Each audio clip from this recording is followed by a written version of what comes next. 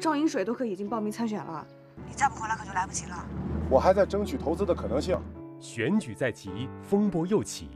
小秦记者，欢迎你加入选举的队伍。三足鼎立，咱们村的选举还从来没这么热闹过呢。年轻小子，你千万不要想不开。一波三折，他们守护山村安宁。妈，我要去县里找工作。你就是想去找高尔妮儿？婶儿，他得有自己的人生啊。我跟县里就业处联系了，会给二虎介绍一份合适的工作。敬请期待《方圆矩阵》香露精编版第六集。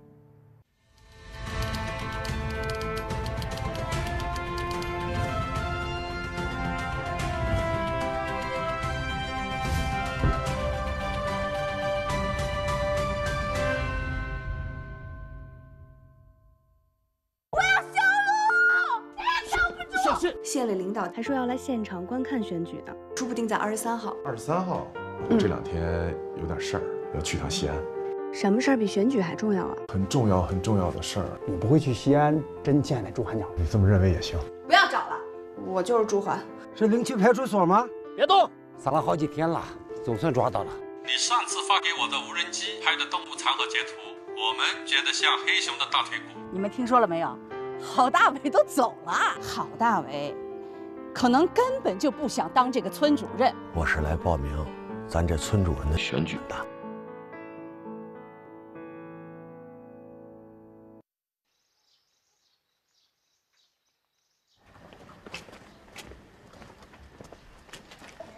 呀，赵主任参选了。我看呀，赵主任才是最合适的人选嘞。老将出马，哎，年轻娃靠边站。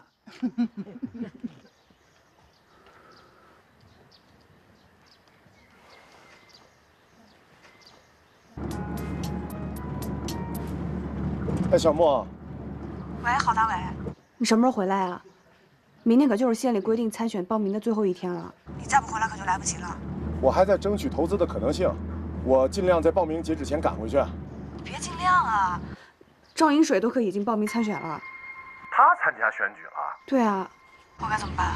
他一直对当这个村主任不感兴趣啊，怎么会这个时候参加选举呢？喂，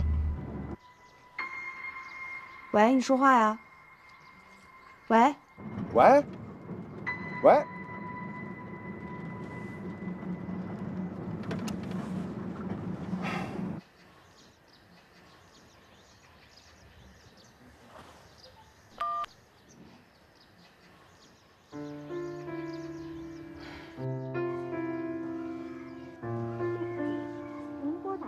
暂时无法接通，请稍后再拨。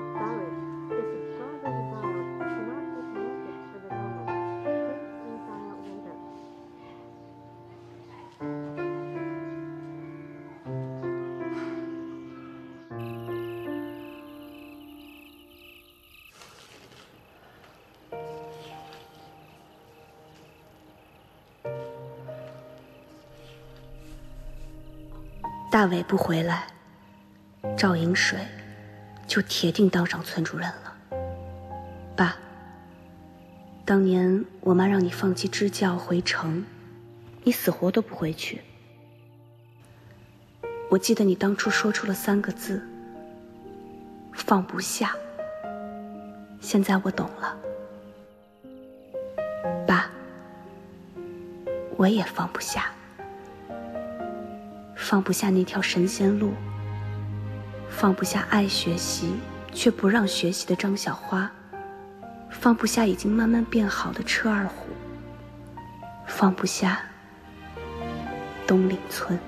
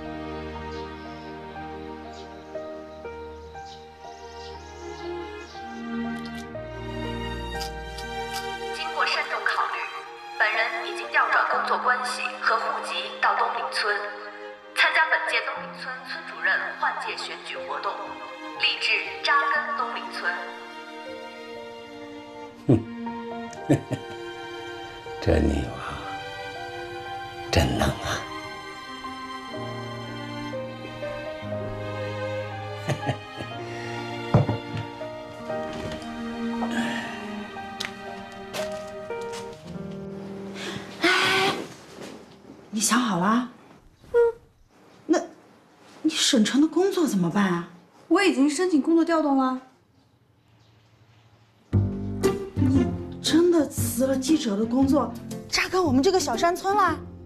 难道我在喇叭里说着玩玩的？我的工作和户口调转报告一个月前就打上去了。你是真动真格的了。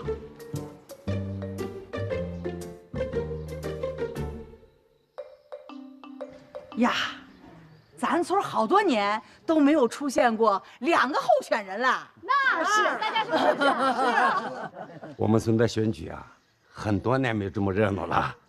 相爷，其实是您给了我勇气，才让我迈出这一步的。这都是你们自己努力的。这赵主任这么大岁数了，能行吗？怎么不行？你懂个屁呀！那赵主任当主任的时候，你还尿床呢。你看，你看这玩意儿，那这这是咱村的老领导了。哎呦，赵主任来了！哎呀，哎呀，赵主任，哎呀，正说你，这回一定要当选啊！当选不能这么讲 啊！我跟秦小木同志是公平竞争，公平竞争啊！啊，你这就是公平嘛，还竞争啥呢？我们都希望你当主任了，对不对？对对对对。好，你看。这是群众的呼声，你回来当主任，呃，那个话咋说的？呃，王八豆子上擦羽毛，归心似箭，对不对？我争取啊，我争取回来啊，一定要回来！来，你我去跟响哥说句话。哦哦，哎，你忙忙忙忙忙忙。哟，你看一下，响哥，忙的。哎，老赵，赵主任，小秦记者，欢迎你加入选举的队伍。您是前辈，我在竞争中学习。哎，谦虚谦虚，我们都老了，未来是你们的啊。不过趁着我现在还能干得动，我就当仁不让了。翔哥，我想跟你聊聊。好啊，我们先走啊。小爷您慢点。怎么，你看不上小木记者？哎呀，倒不是看不上，人家毕竟是从大城市来的记者，那见过大世面。不过。我觉得咱们本村的事儿，还得本村的人来管。老哥，你看这么多年了，我已经有了一定的经济实力，又经历了这么多的历练，我相信我能带好咱们村。我找您呢，是希望能得到您的支持。我不管谁选上，我这双眼睛啊，盯着呢。老哥。瞧你说的，咱俩可是搭过班子的人，难道你连我都不放心了吗？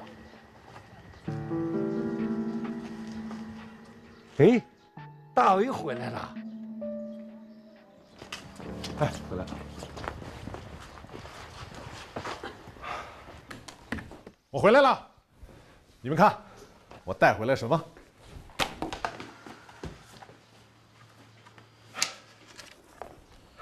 哟，你这火急火燎的去西安，就是为了这个？是啊。哎，你这趟去西安，手机怎么打不通呀？我当时陪这个杨总啊，在山里边，手机是根本都没信号。呵，四千万。这家投资公司是我的一个战友介绍给我的，是一家做旅游产业的投资公司。哎，据我了解，咱们县里边还有两个村都在争取这笔投资呢。那这么说，这个公司投资在咱们村了？算是吧。不过这个杨总，对我们村的基础设施建设是有要求的。你看吧，到手的投资又被这神仙路给挡了。这神仙路还真是有神仙呀！管他什么神仙，这路修定了。大伟，快去填个表，不然选举来不及了。好，快去。好。看屏幕。那还行。好了。嗯。你这大伟一回来呀，咱们村的选举可有热闹看了啊！三足鼎立。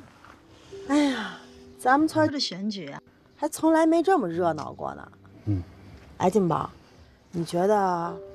这谁能当选村主任呀？这大伟回来了，肯定是他呀。不过我老丈人也不是吃干饭的啊，他可能是大伟最强劲的对手了。你这话说的，合着小木就成打酱油的了？谁会选一个女的当村主任呢？那何况是个外地的。哎，你说这话我可就不爱听了啊！女人怎么了？你可别忘了，咱县里还有个女镇长呢。我也不跟你争啊，咱们看结果，行吗？哎。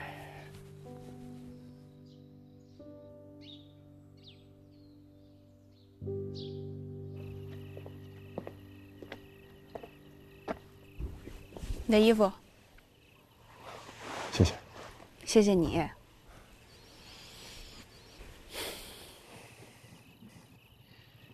你这正主回来了，我这临时参选的就可以拿下来了。别呀，拿下来干嘛呀？你能参加选举，我特别的高兴啊。当时是你电话打不通，我怕你赶不回来，来不及报名，这张银水就铁定当上村主任了。这个赵迎水这次参加选举，我觉得是很奇怪的。以前怎么让他当，他都不当。金宝说他反修路。他不光反修路，而且我觉得他的牧场有猫腻。你也怀疑他的牧场了？嗯。谁啊？老憨在家吗？是我。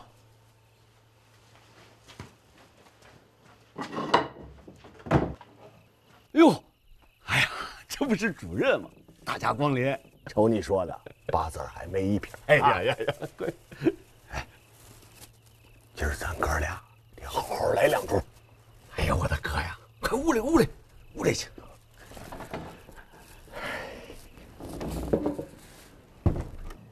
你喝醉的那天晚上，我偷偷的溜进去看了一下，别的我倒是没发现，不过我在他的牧场四周发现了很多的摄像头。你想啊，一个牧场。怎么会有那么多的摄像头呢？你说是为啥？这张云水要是当上村主任，咱村的天儿可就变了。所以啊，你不能退选。好，那我们并肩作战。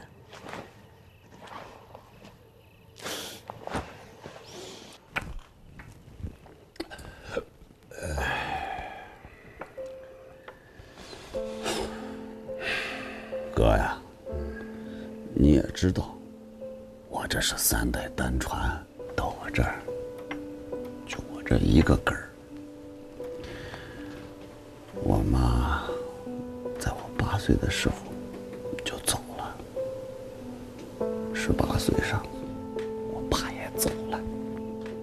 你说我这好不容易结个婚，咔嚓，还生个女娃。我原想着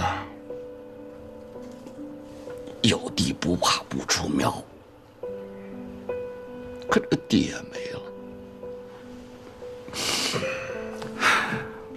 你说花他妈的年轻轻的，咋就没了？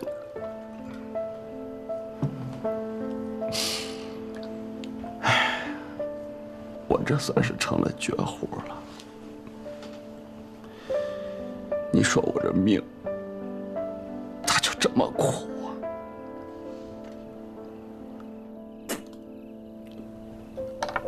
啊？老汉呐，只要你这根儿在，还愁没地吗？这老婆可以再找，早晚可以生出儿子来的。哎，我都这么大岁数了。虽说脱贫了，可我也没几个钱。就连于连桥那寡妇，人家都看不上我。老汉啊，你有没有想过，你这几年为什么这么背啊？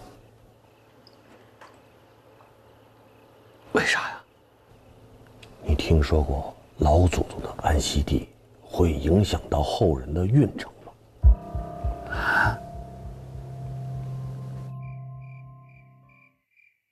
啊？怎么样？舒服。哪儿疼？这儿，这儿，这儿。哎，别动！哎，你轻点。哎，海娇，嗯，我今天回来的时候啊，路过广场，看你们选举，还挺热闹。嗯，是挺热闹的。哎，你打算选谁呀？你要说从个人感情上，我肯定是选郝大伟。嗯，但是他要修路，我就不想选。修路是大家的事儿，也太自私了。那啥叫自私？啥叫不自私？我们挣的也是辛苦钱。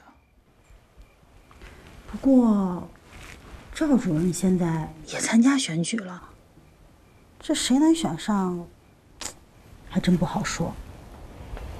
嗯，也是。老韩呐，你看这十多年前的我，是不是和你一样的不顺呢？啊，后来我给我们家的祖坟看了看风水，然后给我们家的先人迁了坟，你猜后来怎么着？怎么着？我这几年的生意是不是顺风顺水的？哦，那倒是。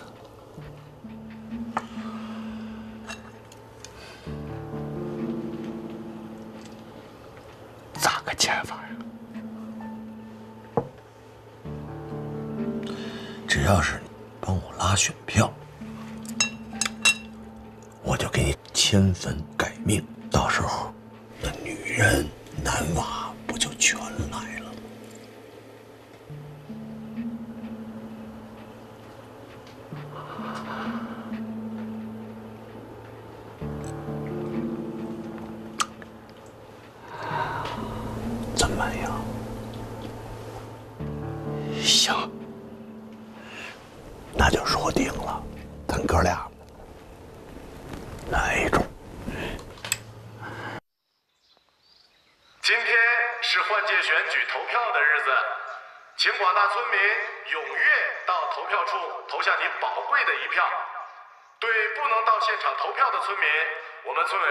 将派投票小组将选票送到村民的家中。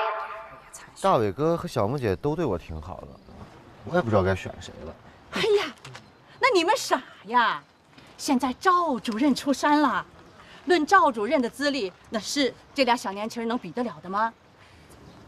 你看见了吧？这就是农村基层选举的现状，每个人关心的呀，都是自己的利益。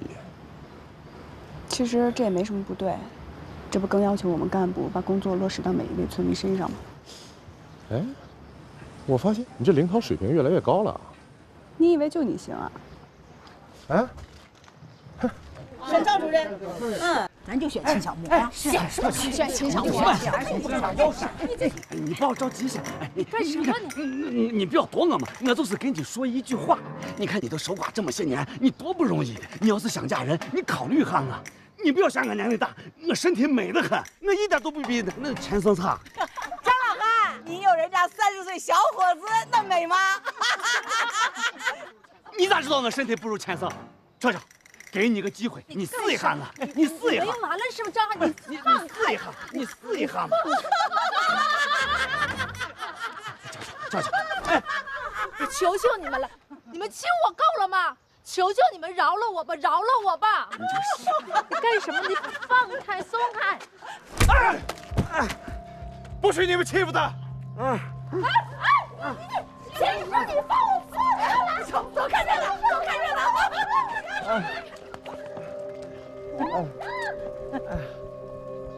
把我放下！你要干什么？你放下我！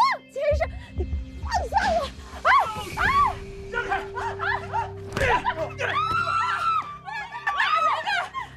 就你勾引寡妇！就你勾引寡妇！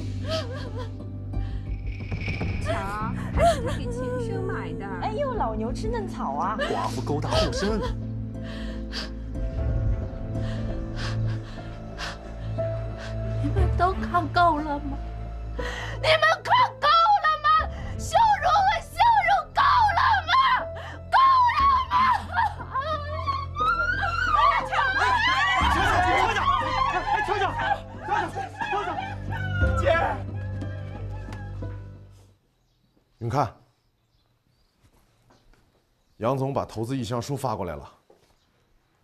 太好了，这杨总还挺有诚意的。修路势在必行。嗯，大卫，不好了，于连桥要跳崖，快快快！啊，快快快，走走走！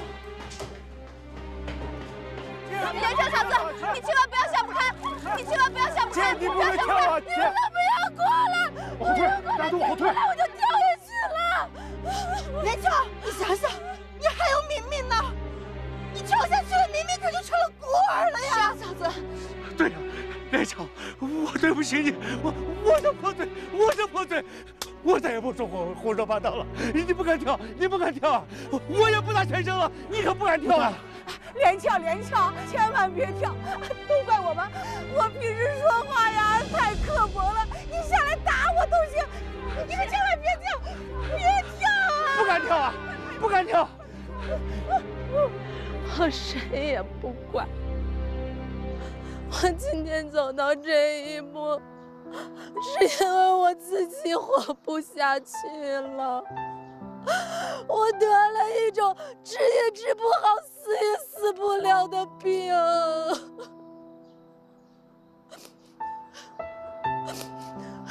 我这一辈子，再苦、再难、再累，我都没有关系，我真的都没有关系。但是我怕拖累我们家平平，我不想拖累任何人，我不想拖累任何人。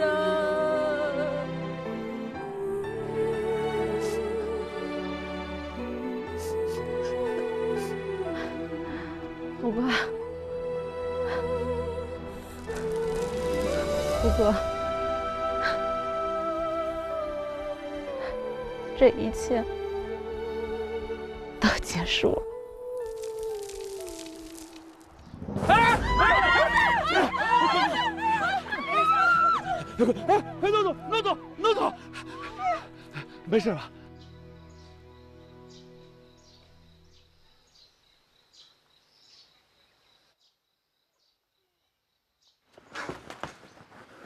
我妈怎么了？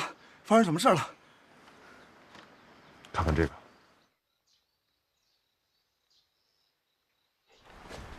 赵主任来了，赵主任，我听说连翘的事儿了。这强制性脊柱炎是什么病啊？我大学同学也得过这种病，也是不死的癌症。开始只是腰痛，后来就全身僵硬，最后那最后会怎么样？瘫痪，卧床不起。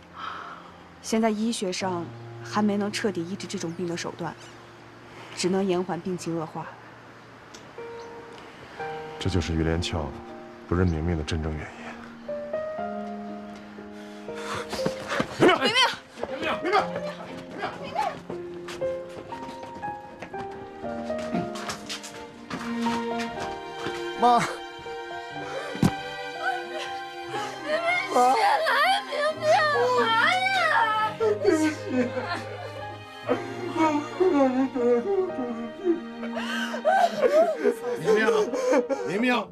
就是钱的事吗？给我起来，起来，连翘，连翘，来来来，起来起来。哎呀，连翘啊，连翘，你有什么想不开的？不就是治个病吗？你赵叔向你承诺，以后你的全部医药费，全部由我来承担。往后有什么困难，尽管跟我说。我赵迎水绝不会看着咱自己村里人的困难不管的。谢谢。主任，谢谢。谢什么谢。了？乡里乡亲的，那都是一家人。啊，这个张老憨，我一定会严肃的批评他。竟然做出这种事儿来，那太不像话了。还有，钱生是个好娃，做事稳妥实诚。这个你呢，也不用有太多的顾虑啊，不就是差几岁吗？哪儿来的这么多封建思想嘛？啊，我跟钱生什么都没有。你安心养着，以后有什么想不通的，尽管找我说啊。那我先走了啊。好，谢谢赵主任。赵主任，好，谢谢赵主任。赵主任，快坐吧。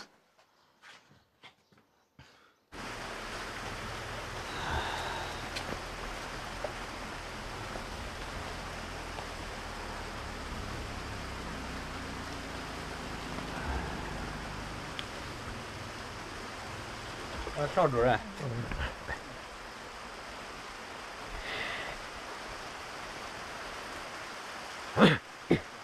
哥，给我过来。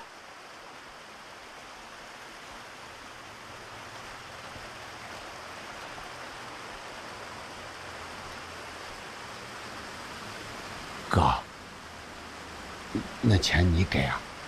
我还不是为了你，我要不安抚好于连翘，就这些人能饶得了你？啊谢谢哥，请给我找事儿。对不起，呃哥，我一定给你多拉选票。老憨子，你就放心吧啊！我要选上这个村主任，我一定撮合你和于连翘。但是，你明天必须把医药费给我送到村委会去，争取宽大处理。要不然，就这个秦小木饶不了你。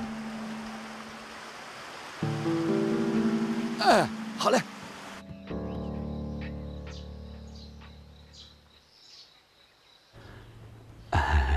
郝主任，这这是我给钱生的医药费。放下。哦，金宝，收一下。嗯，那我走了。站住！你还没给钱生道歉呢。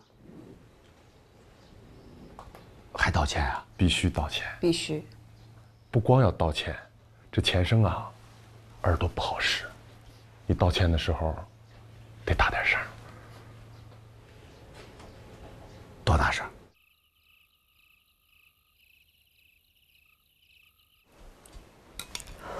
嫂子，要。哎。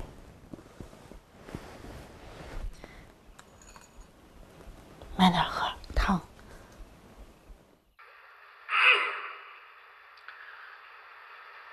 我万分羞愧。做出深刻检讨。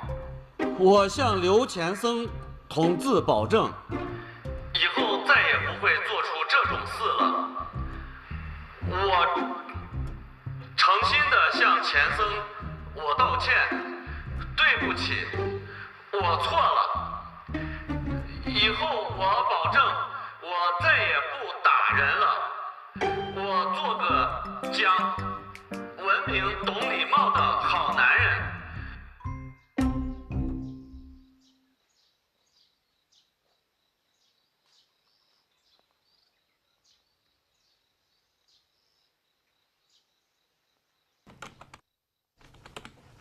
今天早上啊，明明回县里上班了，走的时候心事重重的。这明明刚上班，就摊上这事儿，换谁都够呛，怪不得于连翘死活不当明明的累赘。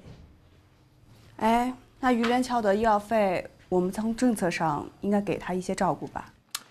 本来是可以的，可是现在何明明啊，他考上了公务员，按照国家的政策，这公务员家属啊是不可以享受低保照顾的。可何明明刚上班，就他那点工资，怎么负担得起他妈妈的医药费啊？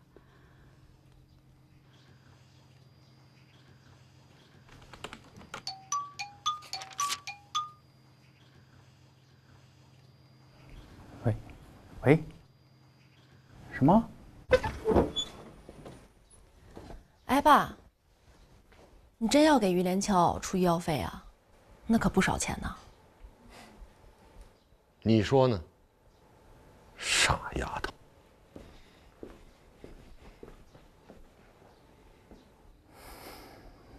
行，知道了。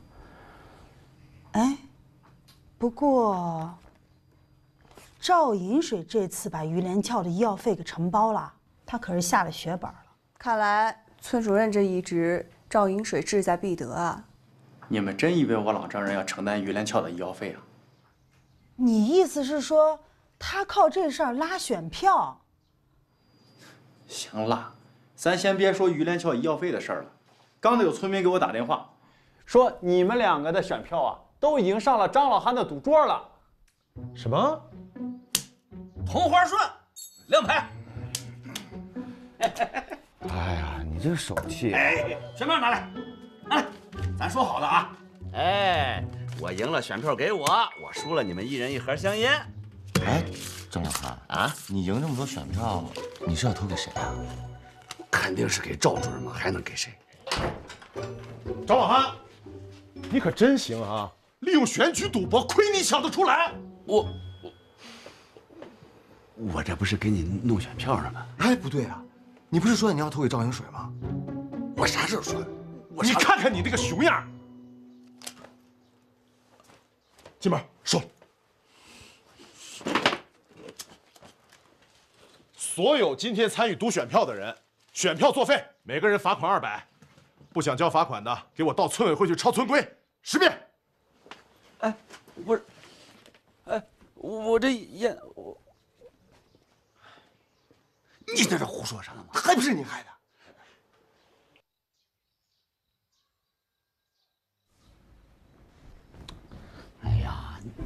暴记了下。哎呀干嘛呢？都吵吵啥呢？赶紧抄！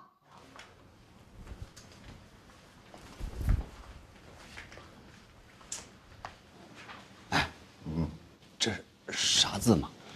遵守的遵啊。哎，抄你都不会写吗？哎呀，就你能的很。行了，哎，你说说你们几个，好好的选举，到你们这儿咋就变了味儿了？嫂子，二娘回来了。二妮儿，我回来告诉大家一个好消息，法院判决书下来了，我离婚了，真的，太好了，二妮儿。法院把宝儿判给你了。二妮，你真的离婚了？二虎，你怎么在这儿？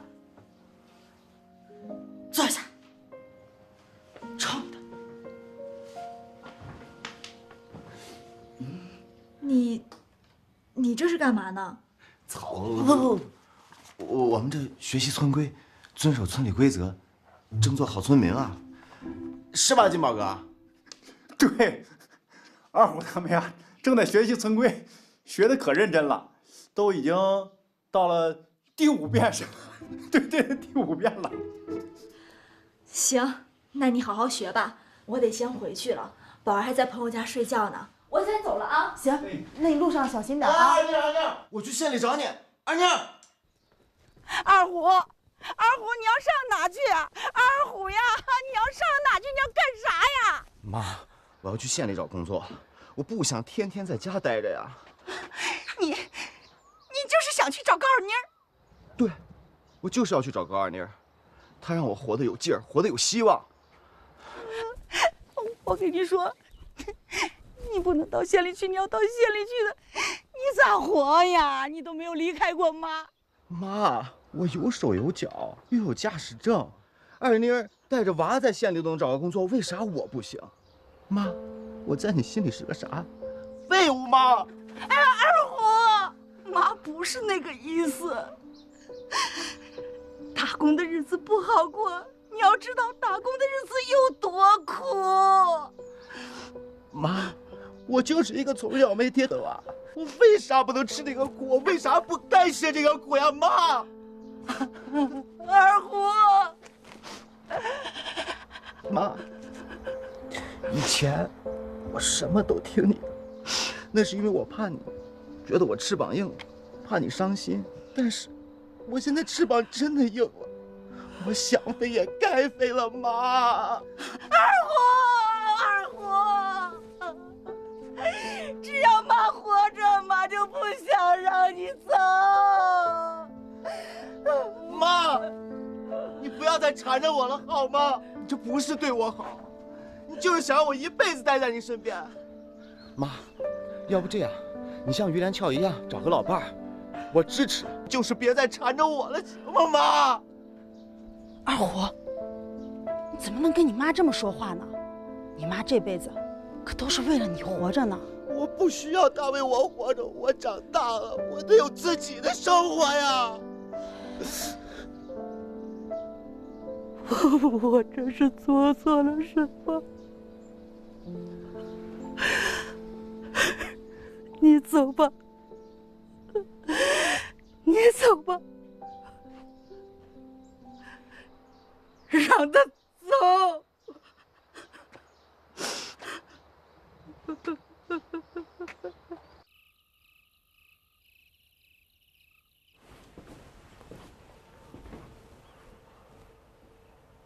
小爷，大伟啊，来坐。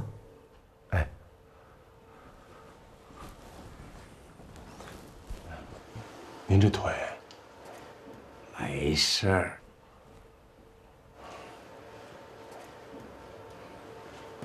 为选举的事来的吗？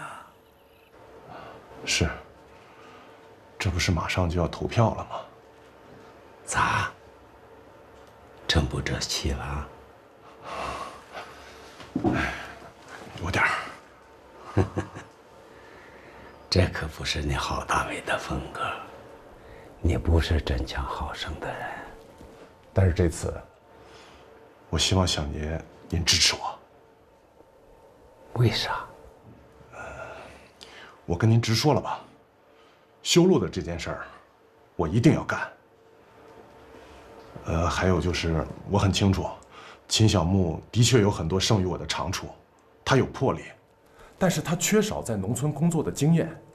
再有，他这个人性子太直，缺少圆润。就这样。还有，他本身，他可以有更优越的工作，和更好的前程。我觉得于公于私，还是我留下来做这个村主任更合适。还有呢？嗯，没了。还有就是，你起了私心。我。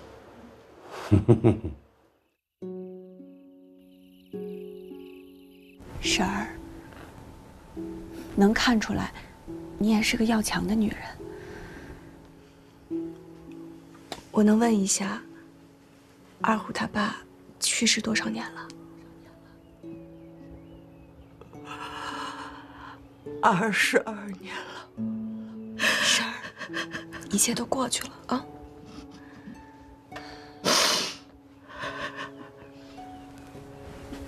小的时候，我爸跟我讲过一个故事，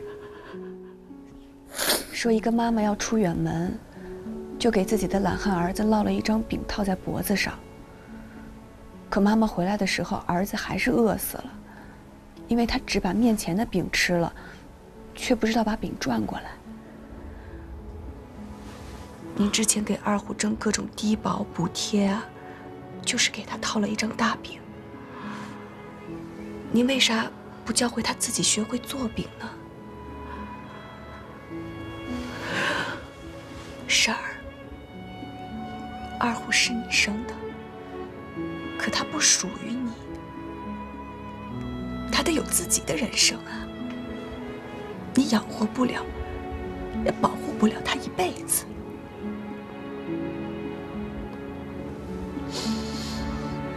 不过你放心。我跟县里就业处联系了，会给二虎介绍一份合适的工作。真的，真的。谢谢你，小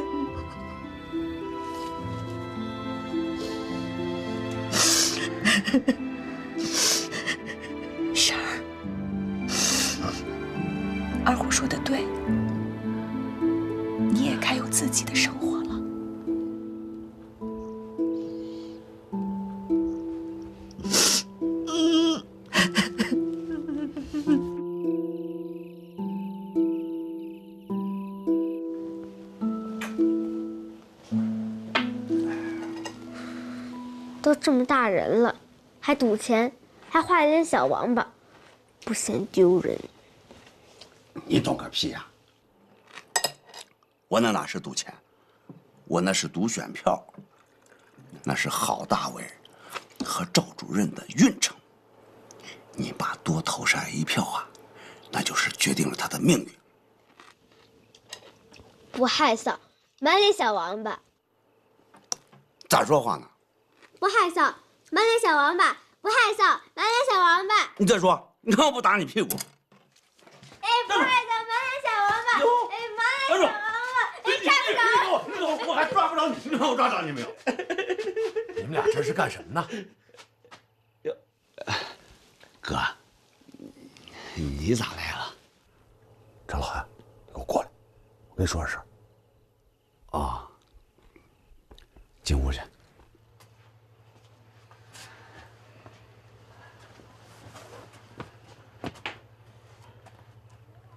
哥，咋了？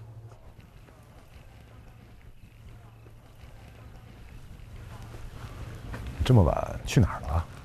哦，我去大风车家看了看。嗯，二虎不是走了吗？我还挺担心大风车的。哎，对了，我今天看了个文件，说可以把何明明的户口调到县里，把于连翘的户口单立出来，这样他就符合低保政策了。哎，你这个主意好啊！这样的话，于连翘家的问题就解决了。对啊。嗯，看来我真不能小看你这个对手了。原来你一直小看我呀？没有，跟你开玩笑的。呃，说正经的啊，明天呢就要选举投票了，听说领导也要来，紧张吗？我紧张的不是我能不能当选这个村主任，是赵迎水能不能选上。因为当村主任关系着修路，修路关系着松茂集团的投资，投资关系着咱们村的未来。我让你给我拉选票，你咋能这么明目张胆的干呀？我成啥了？那兄弟还还不都是为了你好吗？瞧你干的这点事儿，明天要想赢他们俩，你这么干。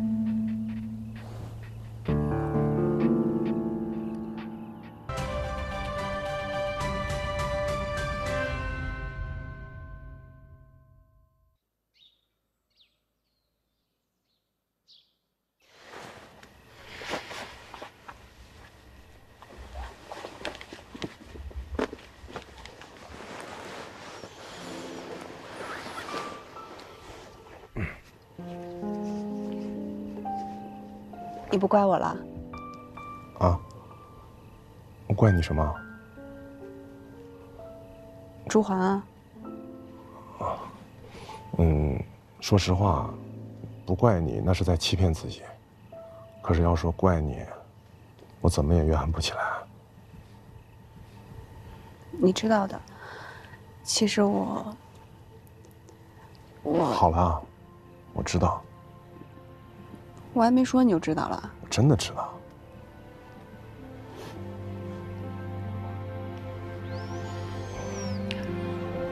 嗯，挺冷的，你回去吧。哦。啊，你的衣服。留着给你擦鼻涕吧。